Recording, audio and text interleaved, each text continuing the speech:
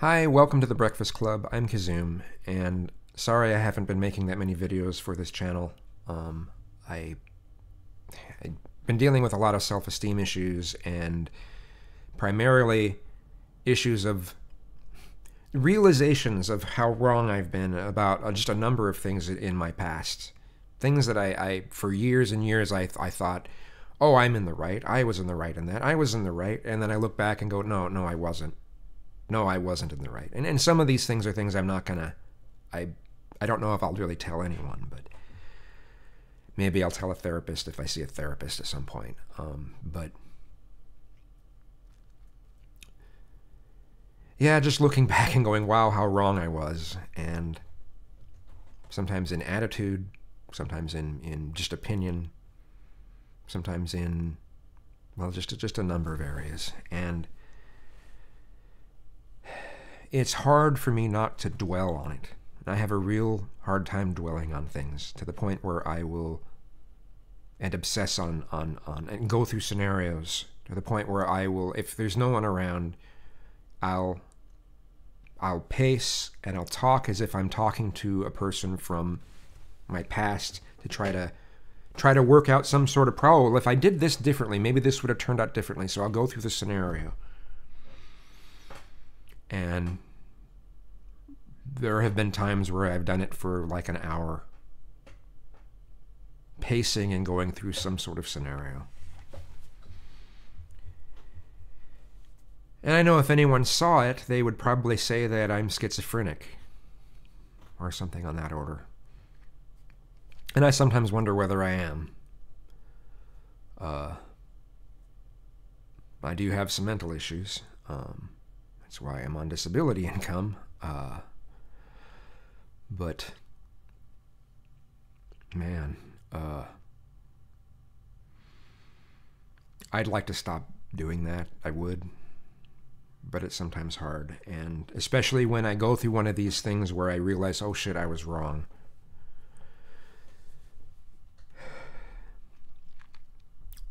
So when I, am down, I, I, I'm I'm dealing with some depression. I know it's eventually going to pass, but another thing is after I watched this is just recent. This is something that's, that's going through my head just recently. I, I watched this video talking about um, how Facebook and so other social media has really messed up our society, has messed up our culture. Um, I mean, the fact that if someone gets up, that you, you, you wake up and one of the first things you think about is to check your phone, you know, that's kind of weird. Um, you know, before you even you know, do your normal morning routine. It's check the phone. You know, and if you look, if you go, if you walk somewhere and there's there's a lot of people walking around, half, you know, not half of them, but you, you, see a, a significant portion of people with these in front of their faces. You know, there was the problem for a while there where people were getting hit by cars because they walked right into traffic. You know, um, but no, the things that social media does to us, um, it's allowed the it, this this I this it's said much better in the video, but it kind of it kind of goes into how the Dunning Kruger effect comes into place, um, along with with tribalism. Um, the people who know some of the least about a subject are the ones that that espouse the strongest opinions about those subjects, and the people who know the most about the subjects are the ones that are keeping quiet. And then there's tribalism. And then the worst part is how all of this is making is making us lose our empathy. There's this clip on that video that, that I'm leaving a link to in the description bar. There's this clip showing a group of teenagers filming and watching this guy drown. And then when he drowns, they're, ha ha, he's drowned. He just died. That's what this shit creates. That's what this is doing to our culture. And so we don't care about the feelings of the people who we disagree with.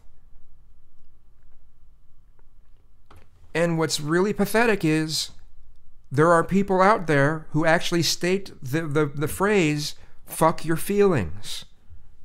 Well, this is where that's gotten us. This is where fuck your feelings has gotten us. We're, we're losing our empathy. Look where it's taking us. Tribalism, not caring about, about the, the feelings of the people that you disagree with. This is what happens. So, to those of you saying, oh no, fuck your feelings, you, you, you, you, do you realize the monster you've created here? We need to care about people's feelings. We don't need to care about them more than facts, but we do need to care about people's feelings. So, anyway, this video is kind of all over the place. So I guess I'll I'll uh, I'll hit stop now.